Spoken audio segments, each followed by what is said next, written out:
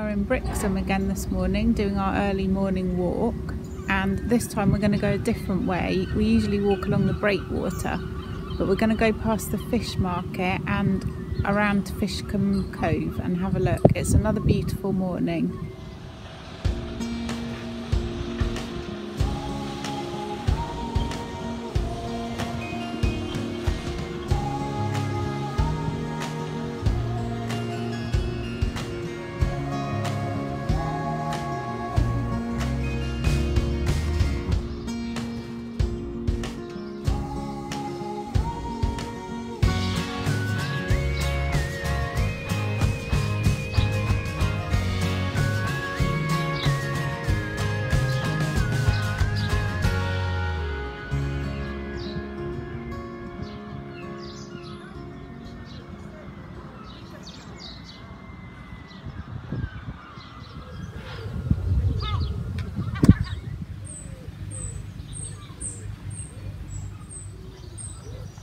We can see the lighthouse there on the end of the breakwater, which is where we normally walk to in the morning. So it's nice to have a different perspective this morning.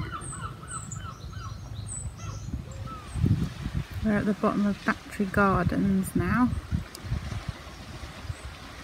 We've got a view across to Paignton and of the cruise ships.